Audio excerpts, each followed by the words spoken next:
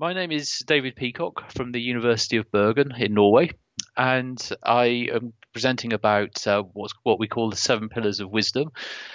And it's uh, really summing up some of my research over the last few years about um, fracture systems, fault systems, how you define some of the terminology, how you describe these sorts of uh, fracture systems. My main work has been on very brittle structures, but the same can really be applied to uh, other systems, other type of structures, much more ductile structures, for example. So um, I'm, I'm, going to be talk about these what we call the seven pillars, and it's uh, the seven pillars are are these. They're different types of geological or structural geological analysis, and um, I, I, think that these are very very useful for helping to uh, organized structural geology. For example, here at the bottom, you see that um, if you if you start off, you have data, some problems you want to test, some hypotheses you want to test, and there are these different types of analysis that you can undertake. So, basic geological description, geometry and topology is another column, age relationships, kinematics, tectonics, mechanics, and fluid flow. And these different types of analysis are really important because they they help you to to really understand structural analysis and help you make uh, geological interpretations. And I'll, I'll I will go through this in the talk. So the, the aims of this talk are to define these seven types of structural analysis, these seven pillars of wisdom, to illustrate how these types of analysis are related to each other, and to show that each type of analysis typically has its own terminology. Often these terminologies are, are sort of muddled up as the as the analyses are muddled up, and we think that the these uh, terms should be kind of separated and they should be understood in the context of the seven pillars. And what I'll do is also illustrate how muddling the analysis types and the terminologies can be very problematic. It can lead to some muddled thinking and some uh, incorrect results. So there are some references for this work. Uh, th- this is the, the first one. It's a, a, a, paper from a couple of years ago. It's a, a glossary of faults and fracture networks. And the it, writing this paper really um, made me think very much about these um, how, the types of structural analysis. And it was my uh, co-author, my PhD supervisor and co-author, Dave Sanderson at the University of Southampton, who really came up with the idea of separating this glossary into um, different types of terms. So he he suggested that we could use uh, sort of geological terms like fault and vein. We could use um, geometric terms. We could use kinematic terms, mechanical terms, tectonic terms, and that that really got me thinking about how you would use that sort of information, and that led to this this other paper that's uh, just recently, very very recently, been published: structural analysis and fracture network characterization, seven pillars of wisdom. So it's just just been published in Earth Science Reviews with Dave Sanderson as the co-author. And the idea there is is um, really to, to to, to to sort of explain how if you if you are trying to carry out a structural analysis, it's worth thinking in terms of these analysis types. That's the, the, the main part of this talk. So uh, I, I, give particular credit to Dave Sanderson for, for, for, for developing these ideas. So the field area, the, the, the field area that I ha- have had through most of my career has been on the Somerset coast. It's a fantastic area of, of structural geology. There's a, a, approximately 18 kilometre stretch of coastline between Blue Anchor and Lilstock, which is some some really fantastic geology there. Uh, the the exposures are of Liassic limestones and shales, and there's also some some Triassic marls and sandstones there. But it's it's a really world class piece of geology. You, you, get a hint of that from the uh, from the Google Earth, for example. Note there's a, a 20 meter scale bar here. It's not not very clear, but this is part of that coast. And you see the, the the way the beds fold round and they're faulted you get a, a, strong hint of how good the geology is just by looking at these sorts of um, sorts of images on Google Earth or Google Maps. But if you go in even more detail, for example, here this is a, a, a photo montage taken using a, drone. Notice the scale bar here, 20 meters. there's a fault cutting across the, the beach, and this amazing pattern of, of joints that occur on this limestone bedding plane. It's a fantastic area for, for geology. It's easily accessible. It's a relatively safe place to work. You, have got to watch out for the tides, but the, the, the, tide range is the second highest in the world. It can cause uh, some problems, but it also helps keep the exposures fresh and clear because the the um, the, the, it's, it's washed by the tides and the occasional storm. So there's some fantastic exposure here. It's um, the, the new and the new drone technology helps you make these de- very detailed maps. I'm hoping that I will be able to put these images uh, on 3D uh, virtual outcrops. I, I, will hope to make them available on the Safari database within the next few months or year or so. But um, I, I, I'm keen that people use this data set because it's, it's some fantastic stuff here that people can use. So let's look at even even in more detail here. It's again a, a photo montage from a drone. Notice the scale bar here, and I'll be using this particular part of a, a photo montage to to illustrate these different types of structural analysis. So let's start off with the the first pillar, the, the, the, the, first pillar, the basic geological description, the geological description that you might want to undertake. And I, I think it's really important to emphasize this because it's often neglected. It, a lot of a lot of uh, work at the moment seems to sort of jump this step. So, what sort of thing might you want to describe as a basic geological description? Well, you might want to say, for example, there's here there's a normal fault zone. Here there are some veins, dextral fault cutting the, the, the strike slip fault, and there's also joints there. These are different types of fracture. The defining these geologically, you you say what type of fracture there is that, that there, there are present.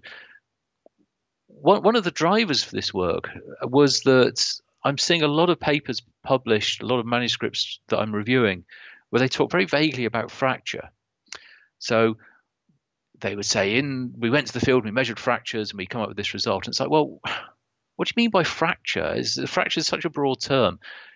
The geological fractures include faults, veins, joints, dikes, sills. There's all types of all sorts of types of fracture occur, and to miss that out is to, to miss that basic geological description. Really can lead to some problems in the subsequent analysis. And I'll, I'll give an example of that towards the end of the talk. How the um, if you miss this basic step, you come up with some results that are, are, are really flawed. So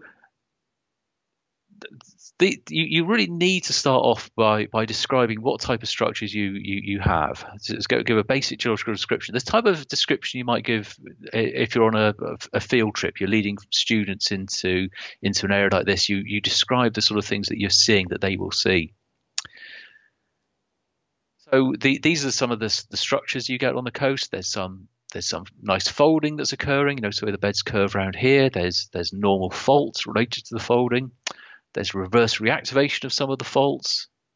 There's some strike slip faults, uh, lots of calcite veins, and networks of joints. So these are these are things that uh, uh, that you can see that are present, and it's worth saying rather than just it's a fracture, you say what type of fracture it is. To me, saying it's a fracture is a bit like saying that you own a pet mammal. So if you if you say that I just bought a pet mammal, people say, "What do you mean? I mean, is it a dog, a cat, or what is it?" And you, you've got to saying fracture is really quite that vague. There are certain some circumstances where you might want to use the term fracture, but in most cases, I think it's really important to say what type of fracture you mean. So the in this pillar one, this this basic geological description, the uses of this it's you, you might want to use this basic job description, for example, during during field work. It's the sort of thing that you might do when you're in the field. You you, you make notes of what structures are present and uh, give a what, what ages of rocks are present, what type of rocks are present. Those sorts of basic geological descriptions. And it is the foundation of subsequent pillars. So the next pillars really should be based on this basic geological description. Typical terms used you might want to use terms like fault, joint, vein for individual structures, or for the relationships between them. You might want to talk about fault zones. imbricates, duplexes, etc. So these are these are terms that describe relationships between individual structures.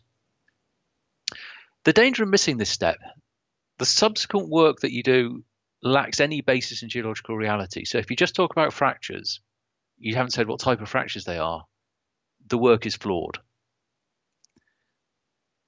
So let's move on to the second pillar, which is geometry and topology. These are descriptions of the arrangement of structures. So, so how they how they fit together, the patterns they create. Uh, I won't talk in detail about um, about topology. Um, the, the, there's been a series of papers published. The they, they are referenced, or some of them are referenced in the in the in the uh, recent Earth Science Review paper. But um, I'll, I'll, illustrate sort of some basic topology in, in the next couple of slides. Now, geometric and topological descriptions, the, as I say, these these really um, relate the, the, the structures to each other. So you might want to say, for example, things like how the veins are clustered around the normal faults, how the joints are not clustered around faults. These are kind of geometric descriptions. These are ideally a quantification of the relationships between structures and, and the patterns that you see. So, for example, with the, with fracture networks you see on the Somerset coast, you get some fractures that are, are, isolated, but but more commonly you're getting these different types of networks of fractures that, for example, some ladder joints here. There's one set of joints with another set cutting between them. Sometimes you get radial patterns. Sometimes you get concentric patterns of fractures. Other times you get apparently random fracture networks. So the, the, the, you, are trying to describe the relationships between different types of structures in, in the, the geometric descriptions.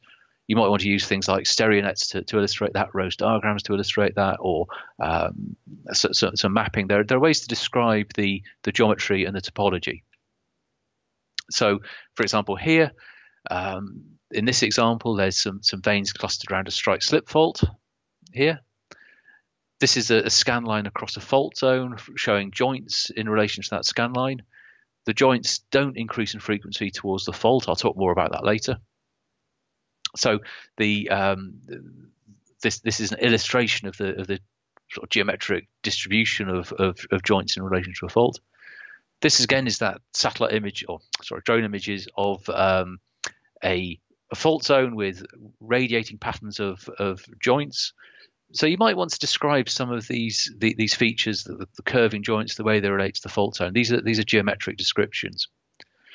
Topology, uh, what you're trying to do here is to illustrate how a, a network of, of fractures interact with each other or connect to each other. So these are different types of connections. The red triangles are what are called Y nodes, where one fracture abuts another one. The green points are called I nodes, where a fracture dies out into the rock. Here you are looking, you, you're starting to get towards the chronology of the fractures. The red fractures are the early ones, the yellow ones are the later ones, and the green ones are the the, the, the the third set, and then there's a fourth set you can identify here. So you're you're really just trying to sort identify the the the relationships between different components of the network. So geometry and topology, the, the uses of this is for, for quantitative description. So if you want to get a quantitative description of, of a fracture network, for example, you, there, there, are different parameters you might want to describe. It is the basis of subsequent pillars that rely on information about sizes and orientations of structures. So, for example, well, I'll come to the, to the, next one, which is about the age relationships. I'll show you in a simple way how, how you relate the geometry and topology to the ages of the structures. Typical terms used for individual fractures or individual structures include things like aperture, branch, tip. Um, for, for, for, sets of structures, branch, conjugate, en echelon, those sorts of descriptive terms for how uh, sets of structures relate to each other. The danger in, in missing this step is that you have a lack of knowledge about the geometries of structures and their relationships that really hinder the, the subsequent pillars that or subsequent studies that you might want to carry out. So let's take the, the, the next step to illustrate that, which is age relationships.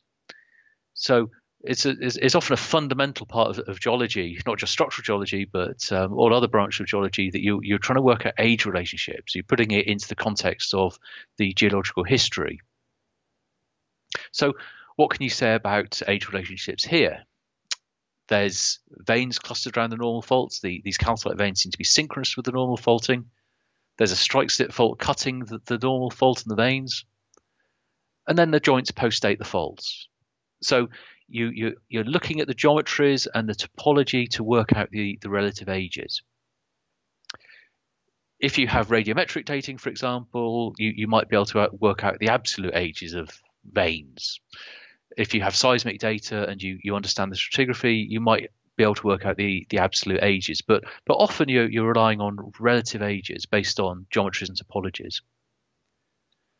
So here, this is this is a field photograph of that same um, image that I just showed, and here you can see the this this fault cutting the the normal fault in the veins, and here you're seeing joints cutting across those strike slip faults they either abut them or cut across them. The, the joints post-date the strike slip faults. So you, you can build up as you can start to build up a geological history of normal faulting, then strike slip faulting, then joints, just by using these simple observations. Now, often people do sort of miss out this this step that they that um, they they don't work out the, the relative ages of structures, and then they kind of put them all together. And that that often happens with people looking at, um, for example, if they just put veins and joints together as as um, as fractures, then they're missing out the important point that the often the veins are later. Sorry, the veins are older than the joints. The veins indicate there's been a phase of mineralization and fluid flow. The joints are indicating that there's not been that mineralization. Often, as in this case here. So, age relationships is used to determine relative or absolute ages of structures and the deformation history. It is the basis of other pillars that are on information information about the histories. So, for example, tectonics, you need information about the history of the structures to uh, to understand the tectonic history. The dangers of missing this step include that you you can make mistakes in understanding the kinematics, the tectonics, the mechanics of the rock, so, for example, if you lump all the structures together, they're different ages. You can't possibly understand the kinematic history of that um, of those rocks. Pillar four, kinematics. So, kinematics is um, something that um, is people have been obsessed about over the over the years. Uh, so, particularly through the 1950s, 60s, 70s, people were uh, undertaking strain analysis, quantifying strain. But um, more recently, uh, its its um, kinematic history has been about, for example, faults, uh, quantifying the amount of strain related to faults, amount of displacements and deformation uh, in thrust belts or normal fault systems, strikes at fault systems. So uh, kinematics is is really just relating the, the the structures you see to the to the deformation, the, the displacements and strain involved. So, what can be said about something like this? The, these normal faults are related to roughly north northeast south southwest extension. The strike slip faults related to north northeast south southwest contraction, and the joints represent roughly equal extension in, in all horizontal directions. So you can you can get some idea of the strains that the rocks have undergone. Ideally, you'd want to quantify those strains to to give a, a sort of proper kinematic analysis. You might want to illustrate that with, for example, um, fault slip data. This is a uh, these these are sets of stereo nets for the initial normal faults, the reverse reactivated normal faults, and the strike slip faults to, to work out the the uh, strains involved, the strain orientations. This is kind of mixed up a bit with uh, paleo stress orientation analysis. So often people would um, use the kinematic data to, to infer the stresses. So the Angelier type method of calculating the the mean stresses, mean stress directions involved. But th- this is really the using strain data to to estimate stresses, or at least stress orientations. So there's a bit of an overlap there. Now, the, the, the kinematics, you, you, would do this sort of analysis to, to quantify the orientations and the magnitudes of the strains or displacements. You would use this as a basis for um, for pillars that rely on information about strains, especially tectonics and mechanics. So, to, to understand the tectonics and the mechanics, you really need to have some understanding of the kinematics involved. It's it's really hard to get a proper tectonic or mechanical model without understanding the strains. Typical terms used include things like dip slip, strike slip, extension, uh, contraction. For sets of structures, you might want to about you might want to talk about antithetic relationships, interaction, relay ramps. These are these are sort of kinematic terms. The danger of missing this step is that you can't really understand the mechanics and the tectonics without understanding the strains. Usually, the the, the, the, the mechanics and the tectonics rely on some understanding of the strains and the kinematics. So tectonics. Let's let's move on to the fifth column, the fifth pillar, uh, and it is tectonics. So what can you? How can you relate this sort of these sorts of structures to the tectonics? Well, plate tectonics is incredibly important for, for, for geology, structural geology, and all other branches of geology because it gives a framework for understanding structures. And structures like this have an interesting kind of circular relationship with tectonics that tectonics is is uh, understood in terms of the, the structures that produce. You use these structures to understand the tectonics, but knowledge of the tectonics can help you understand the structures that you see. So, for example, here we have a set of normal faults and related veins indicating roughly north-south extension. You have a set of strike-slip faults indicating roughly north-south contraction. And those can be understood in terms of the tectonic processes that, that the that the region has undergone. So in this upper graph, there's upper, upper map. There's a uh, you, you, can see a series of Mesozoic basins across the British Isles it, it, with the marked with these circles. There's a whole series of network of basins that um, indicate Mesozoic extension and sort of network of extension, roughly north-south extension in the Bristol Channel Basin. So these are related to tectonic processes that operated in the in the northwestern Europe during the Mesozoic. There's sort of regional pattern of extension that included the the North Sea, the the, the Viking Graben, and uh, offshore um, offshore British Isles and, and, and, France. So there's, there's a series of uh, extension extensional basins that developed during the Mesozoic during the alpine deformation, there, there's sort of kind of patchy development of, of reactivation structures, inversion structures. Uh, for example, in, in, the Weald and the Wessex Basin, there's some fantastic exposures of inverted normal faults. And in the Bristol Channel, many of the faults have been inverted, partly inverted. There's reverse reactivation normal faults. And these are related to, or have been related to the alpine stresses that have also had some reactivation of, of some of these faults. For example, the Cothelstone fault, the Stickle Path fault, these major strike slip faults that were reactivated during the Alpine deformation. So you can understand the structures you see on the Somerset coast in terms of regional tectonic processes. So tectonics, it's useful for understanding how structures relate to plate tectonic deformation, and it provides a framework for understanding geological processes understanding tectonics has particular links to the, the timing of deformation, the, the kinematics, and the mechanics of deformation. The danger of missing this step is that the temporal and other relationships between structures is not properly understood. And you, you really just don't understand the context of the structures. So the tectonics really provides a context to understanding the structures you observe. And it's useful to, to interpret them in terms of tectonics. Mechanics. Now, some people, it has been said that mechanics is kind of the highest level of understanding of uh, structural geology. That uh, if you don't understand the mechanics, you don't really understand the structural geology. And I, I, think that's there might be some truth in that sometimes, but a lot of the time, I think um, you, you, you might want to carry out analysis that that doesn't really necessarily worry too much about the mechanics. That you might be interested in.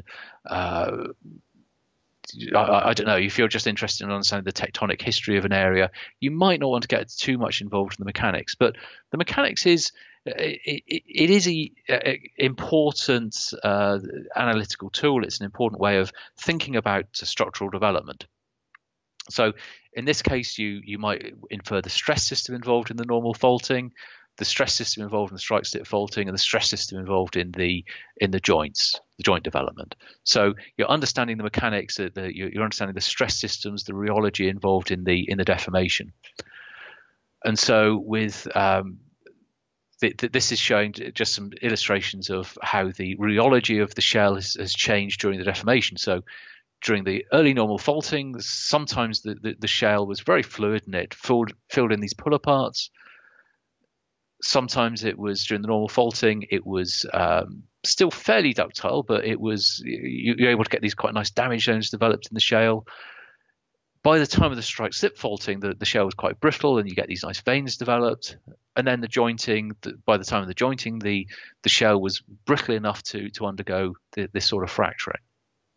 So you can you can work out a you, you can relate the structures you see to their rheological properties, their mechanical properties. So the uses of this is, is to understand the conditions under which structures develop, it gives an understanding of how structures form, so it may help in understanding the, the timings, the kinematics, the tectonics, and the fluid flow.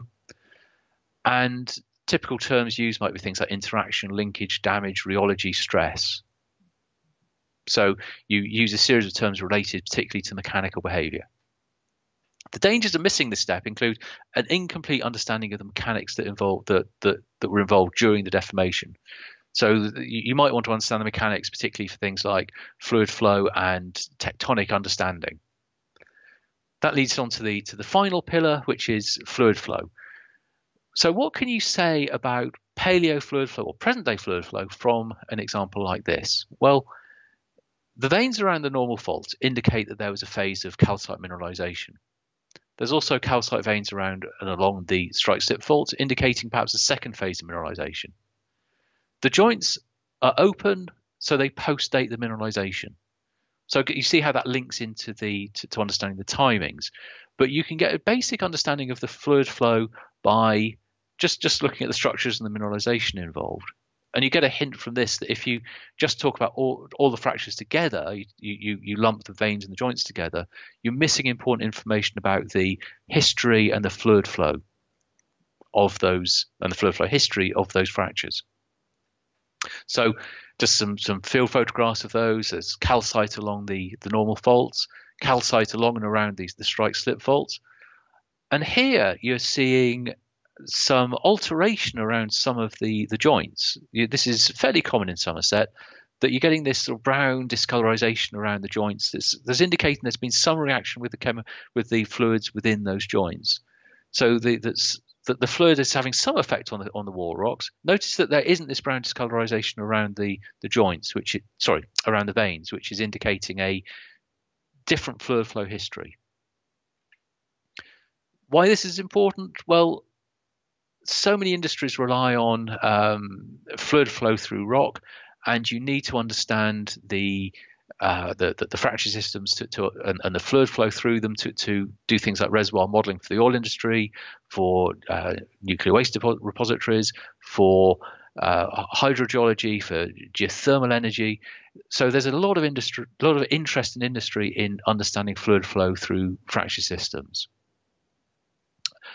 So you need to get the, the analysis right fluid flow is um, it's useful for relating structures to, to fluid flow through rock. It depends very much on the previous pillars, but it can also help those pillars. So, for example, the, the, the fluid flow, if you've got evidence of fluid flow, it helps understand the age relationships. Typical terms used include things like porosity, permeability, and connectivity. The danger of missing this step is you you lack knowledge about how fluids relate to deformation.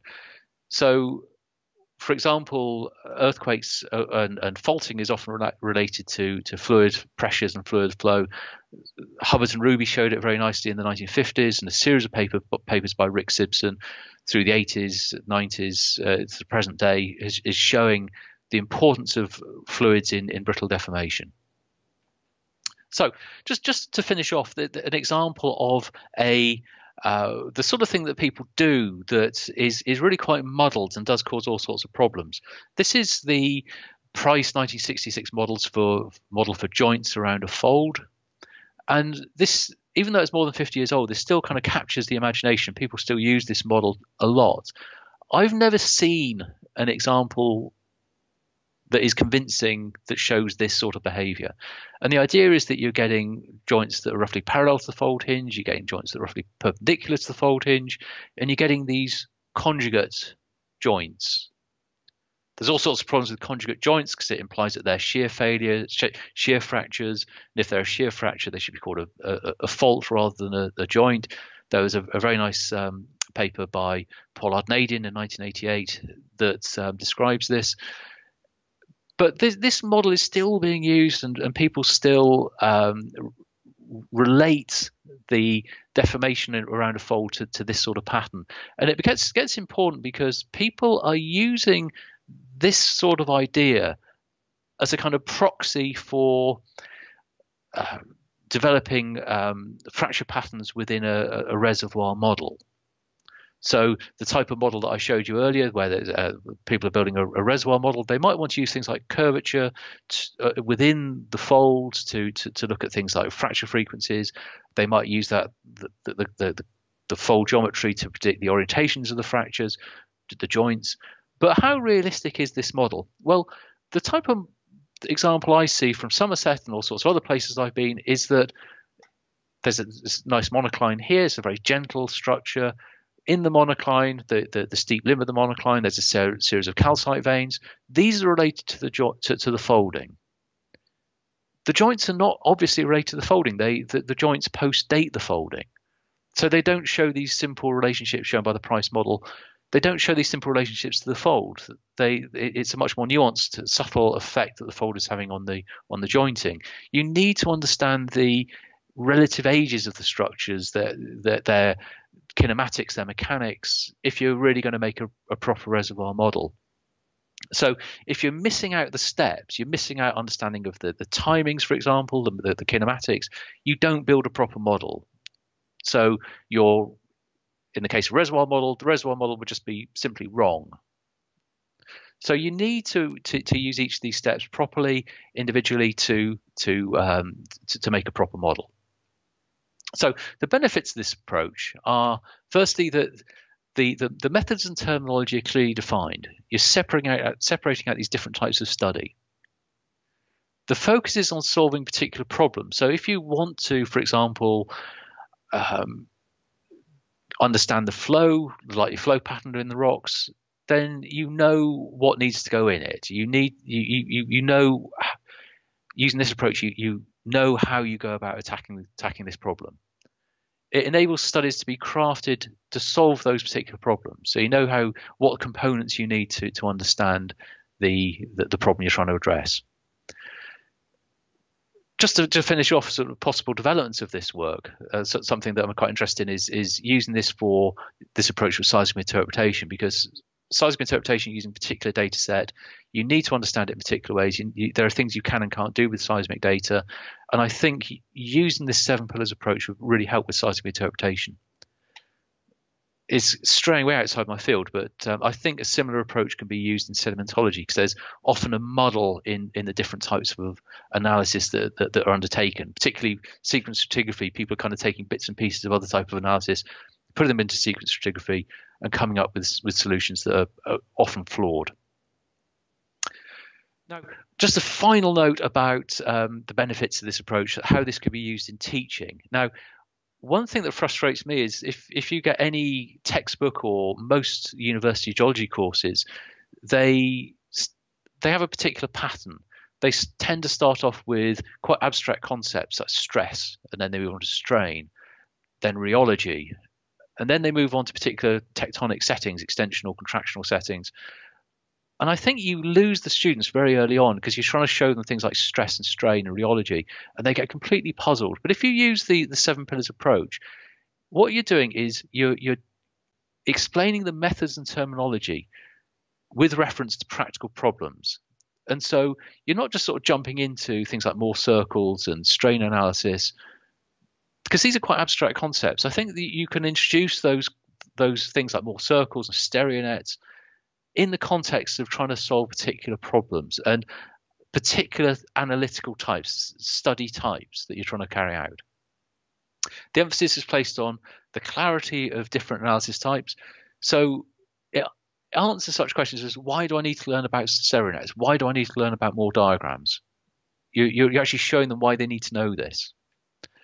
The focus is on problem solving. So, for example, what do the structures tell us about fluid flow? It helps you tackle those sorts of problems. Hypothesis, te- hypothesis testing is highlighted.